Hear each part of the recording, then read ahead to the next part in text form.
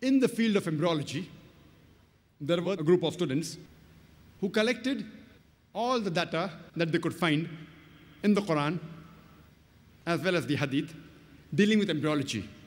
And they followed the verse of the Quran, Surah Nahl, chapter number 16, verse 43, and Surah Anbiya, chapter number 21, verse number 7, which says, Fas'alu ahal zikri in kuntum la ta'lamun. If you don't know, if you're in doubt, ask the person who's knowledgeable. So these Arab students, they collected the verses of the Quran and the Hadith dealing with embryology and translated into English and presented it to Professor Keith Moore, that was about 30 years back, in the late 70s. And Professor Keith Moore at that time was one of the highest authorities in the field of embryology. And he was the head of the Department of Anatomy in the University of Toronto in Canada.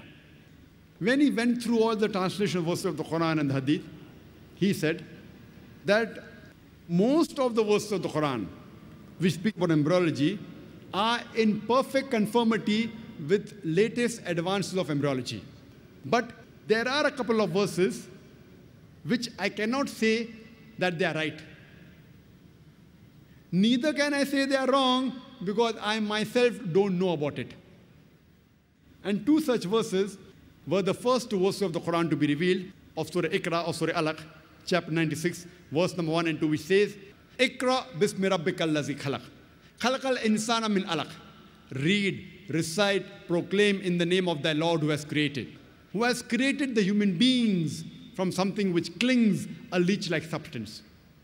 So Professor Keith Moore said, I don't know whether the human beings, the embryo, embryology means it's the study of the development of the human being, the early stages of human being in the womb of the mother, for those who don't know. He said that I do not know whether initial stages of the embryo, that's the initial stages of human being, it looks like a leech or not. So he went in his laboratory and under a very powerful microscope observed the early stages of the embryo and compared it with the photograph of a leech. And he was astonished at the striking resemblance.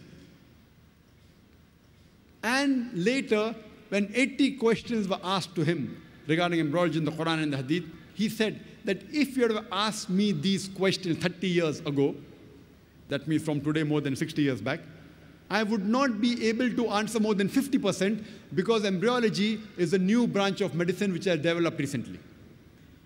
And whatever additional information he got, he included in the new edition of his book, The Developing Human. The Developing Human is one of the books referred by most of the students throughout the world in the first year of MBBS, first year of medical college. And even I, when I was in the first year of the medical college in Bombay, if we had to get just pass marks, we used to refer to the book written by Inderbir Singh. If you wanted to score in embryology, we had to refer to The Developing Human by Professor Keith Moore. So Professor Keith Moore, he incorporated this new information he got from the Quran and the Hadith into the third edition of his book, The Developing Human, which got the award for the best medical book written by a single author. And later on, this book was translated into several languages of the world. And Professor Keith Moore said that this information in the Quran cannot come from human source. The author of this Quran has to be Almighty God. And he said that he has no objection in agreeing that Prophet Muhammad, peace be upon him, was the messenger of this God. Imagine Prophet Keith Moore being a Christian said that. Quran says in Surah Tariq, chapter number 86, verse number 5 to 7, that does not man know from what is created? He is created from a drop coming forth from a space between the backbone and the ribs. What does the Quran mean by saying the human beings have been created from a drop coming from a space between the backbone and the ribs? Today, after science is advanced, we have come to know that the genital organs in the human beings in the embryonic age, when the child is in the womb of the mother, it developed from a space close to the kidney. That is the space between the spinal column and the 11th and 12th rib. In the male, the genital organ, the male gonads are the testes. In the females, the female gonads, they are the ovaries. And later on, in the embryonic age, these genital organs, the gonads, they descend. In the female, the ovary descends till the true pelvis. And in the male, via the inguinal canal, it descends to the scrotum. But even after descending in the adult life, yet these genital organs, they receive the nerve supply from the same space between the backbone and the 11th and 12th rib. And the blood supply from the aorta, which is present in the same space between the backbone and the 11th and 12th rib. And the venous return and the lymphatic drainage goes to the same space, the space between the backbone and the 11th and 12th rib. The Quran mentions in no less than 11 different places that the human beings have been created from a nutfah.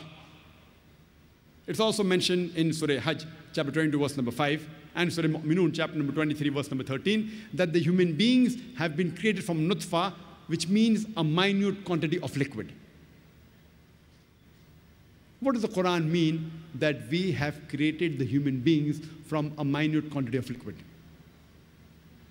The Quran also says in Surah Sajda, chapter number 32, verse number 8, that we have created the human being from a quintessence. And we have created the human beings from solala. The Arabic word solala, besides meaning quintessence, it also means the best part of the whole. So besides the Quran saying we have created the human being from minute quantity of liquid, it also says we have created the human being from the best part of the whole. And today science tells us that only one spermatozoa out of the millions of sperms that are emitted is sufficient to fertilize the ovum. Only one out of several millions. So this one out of several millions the Quran refers as nutfa, minute quantity, and solala, the best part of the whole, one out of several millions. The Quran further says in Surah Insan, chapter 76, verse number 2, we have created the human being from nutfat and amshaj, from a minute quantity of mingled fluids.